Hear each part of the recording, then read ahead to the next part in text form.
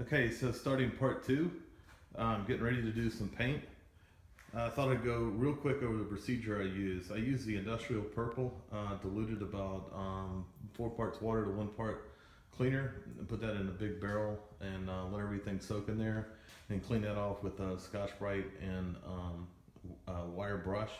Uh, that will cause it to flash rust almost immediately. If there's not already rust underneath it, I use the Prep and Etch.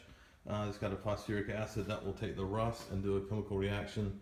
Uh, it's iron oxide into something else, and, but, but basically back to iron, and you can see that's the black part there. Uh, the white part is um, just the residue. Uh, all of this will be media blasted, so all that comes off. Wipe that down. Um, I'll do primer and then also paint uh, two coats immediately after that. Um, I'm not going to use an epoxy paint or um, anything special. My shop's pretty protected, so I'm just using uh, typical Rust-Oleum products. So media blasting is done. Uh, everything turned out really good. Pretty easy to take everything off on a lot of rust. Um, did find that that repair also extended to the top. Um, didn't see that one. A lot of braze on there. Um, I did decide to um, take the bearings out of this.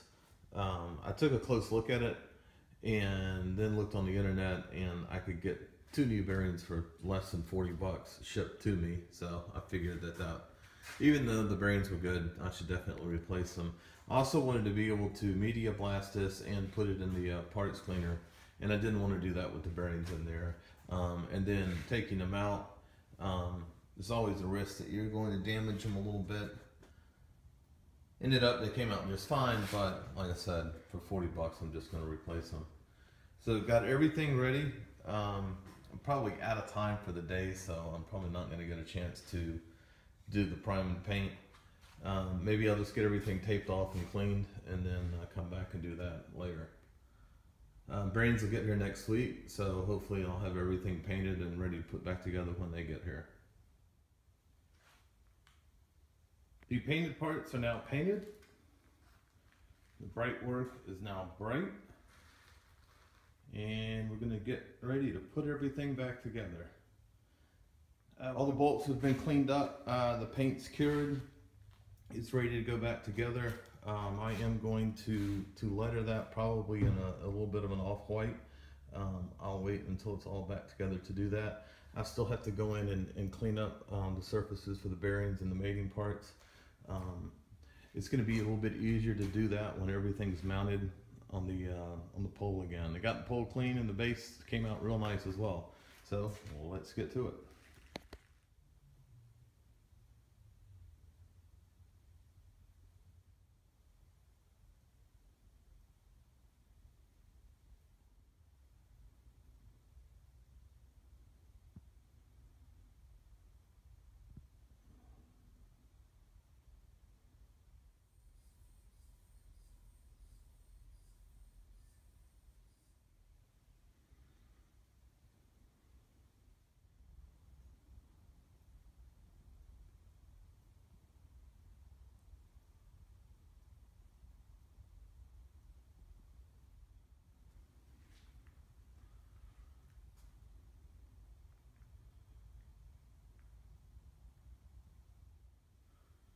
The orange beast has made its way out of the back of the shop and pressing the bearings.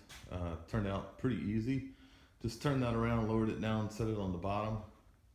Um, I got the bearing in here, a little a block and a piece of pipe to make up the difference. And then to, to get on just on the outside of this and, and not press on the inside, um, I'm using the, the thing that goes on the bottom of the spindle to uh, to move it up and down. So that just fits just right on the outer race of that.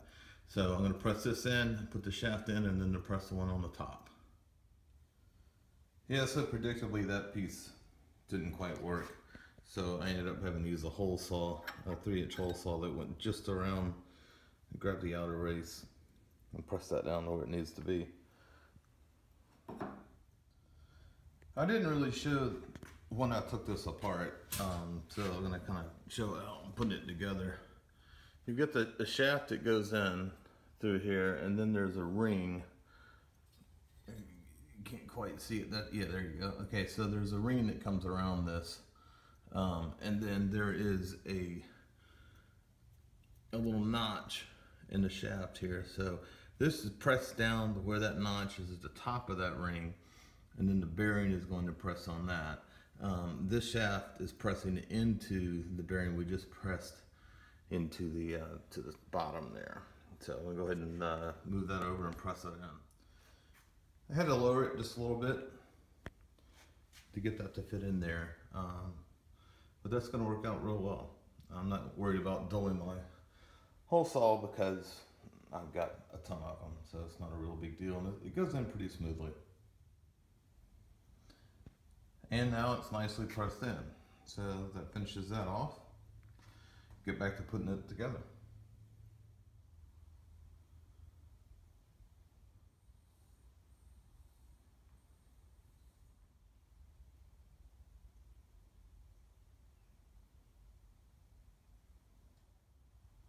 That's going to be it for part two.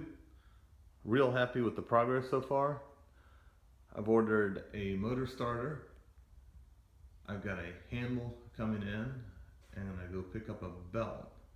So I think once I get all those things on it, I'll be able to hook it up and run it some. I did measure the run out again, uh, turning it by hand, and it was only one one thousandth. So I'm pretty happy about that. The uh, table, I haven't decided if I'm to leave it alone. It only has those few little holes in it and just a little bit of pitting. Um, I think I'm probably just going to leave it alone. I like the uh, the survivor look. So that's it for this part. And uh, as soon as those parts come in, we'll get this thing running.